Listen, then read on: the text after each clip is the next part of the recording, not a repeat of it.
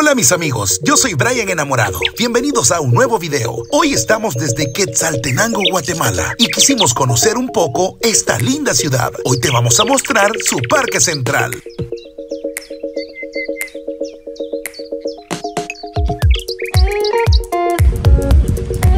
Bueno, ya estamos desde el parque de Quetzaltenango y sin duda alguna este lugar es maravilloso. Eh, tiene, no sé qué, pero como una especie de encanto único. Quetzaltenango es un sitio muy cultural. Su clima es frío por las noches y una temperatura agradable durante el día, con un sol radiante. En sus parques puedes encontrar personas tocando instrumentos, cantando y disfrutando de un momento de tranquilidad. Estoy con mi buen amigo Josué, estamos desde Quetzaltenango, Guatemala. Josué, ¿dónde estamos hoy? En el Parque Central, aquí podemos ver el Palacio Municipal, aquí Ajá. hay otros monumentos, está súper hermoso, la verdad. Una ciudad muy fresca. Eh, estamos maravillados, la verdad. Sí, una de las cosas que me gusta de este parque es que está, te lo digo, bien cuidado. Claro. Eh, me llama mucho la atención su arquitectura colonial, que sin duda alguna es como que le da un toque fantástico. Y dicen que no, no pueden remodelar de más los edificios porque ya son como Tiene como patri- pa- pa- patrimonio, ¿no? Histórico, ¿ah? Bueno, eh, caminando por el parque, ¿qué encontramos, Josué? Hay venta de todo un poco, hay comida, comida frutas. típica, frutas, eh, naranjas, eh, alfombras hechas aquí, llaveros. A mí me parece que este es un lugar extraordinario para todo turista que venga y quiera tomarse un par de fotos y llevarse un recuerdo memorable de acá de Quetzaltenango. Claro, así es. eh, hay muy, muy buenos lugares para fotografía y la verdad es que, bueno, nosotros ya nos tomamos un par ahí, a ver. Claro, ¿eh? El Parque Central también es conocido como el Parque Centroamérica de Quetzaltenango.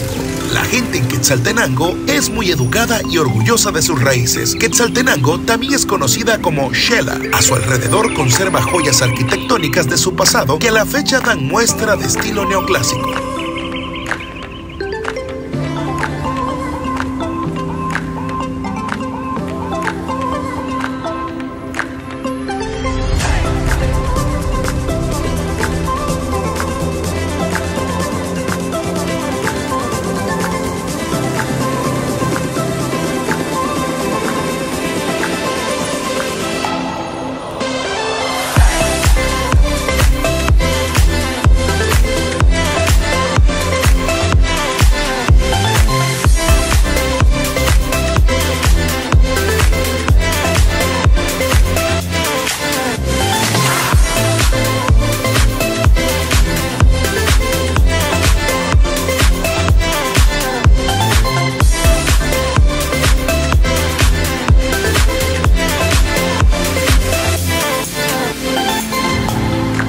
La ciudad de Quetzaltenango fue fundada en 1529 sobre una antigua ciudad quiché. Cuenta con varios parques, algunos con una iglesia al frente o en la cercanía.